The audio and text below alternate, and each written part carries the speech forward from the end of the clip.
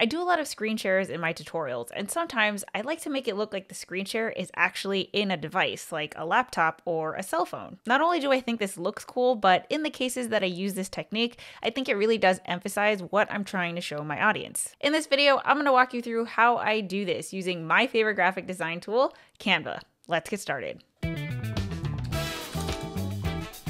First, head on over to canva.com and then click on create a design.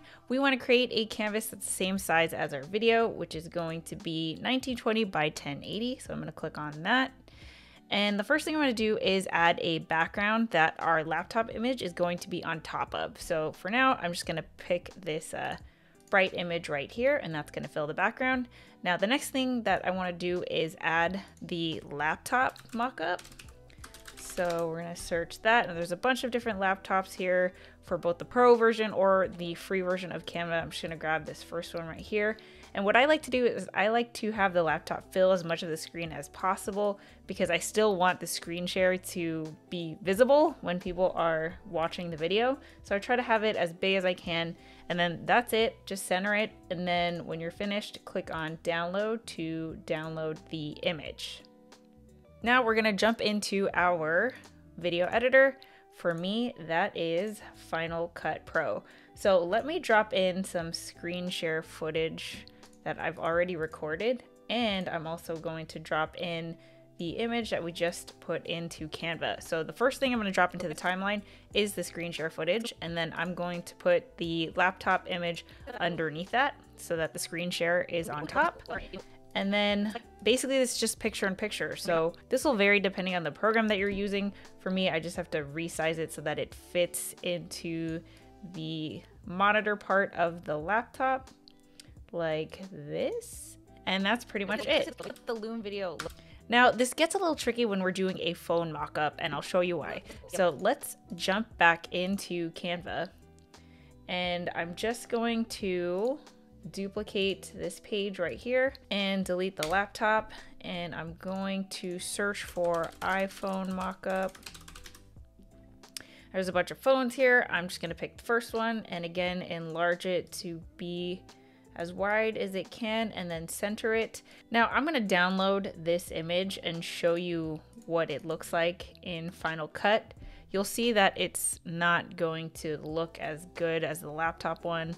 I'll just show you what I mean. So let me jump into Final Cut and then I'm going to drag in the image that we just created and then also some sample phone recording stuff. I'll just drop that right here. Let me mute this so you guys don't hear that. So see, this is just a recording that I took on my phone and then I'm going to drag the Canva image underneath and even when I resize it, you'll see that because of the curved edges and the camera part right here, it doesn't exactly fit. And if we go back to Canva, there's no way to make this a transparent image. Even if I were to use something like this, uh, you're, you're still gonna see this part underneath because that's not quite transparent. You can do images in Canva that have transparent backgrounds, but in terms of making the center of an image transparent, you can't do that in Canva. But don't worry, I do have a workaround. For this, we're actually going to open up Keynote. And when you're in Keynote, we're going to create a new document. You wanna make sure that you've got wide selected. I'm just gonna choose basic white and I'm going to delete all the elements that are on there by default. Now the next step in the format window here, you want to make sure that the background is set to no fill, which means that this presentation is transparent. And then you want to drop in the Canva image that we created that has the cell phone. And to make the center of the phone transparent, we're going to use the alpha tool, which I have in the toolbar up here. But if you don't have that, you can go up to format in the menu and then scroll down to image and then instant alpha.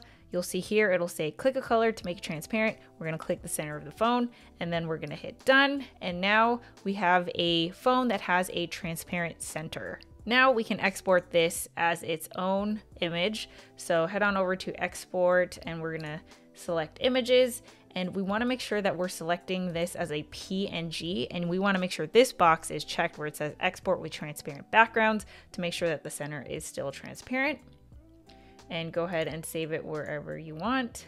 Now, back in our video editor, I'm going to drag in the new keynote image that we created and you can see even here that this looks different from the Canva image that we created. Now, if we drag this image the same way that we did with the other one, putting it underneath the screen share, the screen share is going to be on top. So that means that even when we resize the screen share, it, we're having the same problem where we don't have the curved edges and that's why we want to put the phone on top of the screen share so that the screen share is behind it. And that way when you resize the screen share no matter how wide or narrow it is it'll still have that curved edge because it's behind the phone image. So let me just tighten this up a little bit like this and you'll see that when we play it it looks perfect now, I wouldn't recommend doing this for longer screen shares. There are just times where the screen share does need to take the full screen. It needs to be as wide as possible. And other times where you actually have to zoom in